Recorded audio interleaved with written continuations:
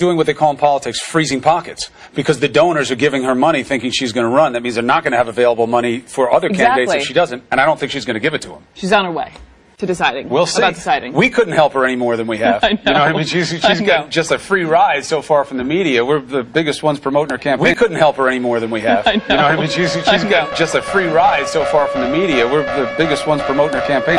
We couldn't help her any more than we have. I know. You know what I mean? She's, she's got just a free ride so far from the media. We're the biggest ones promoting her campaign.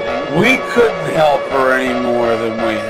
Know, I mean, she's, she's just a free ride so far from the media. We're the biggest ones promoting our her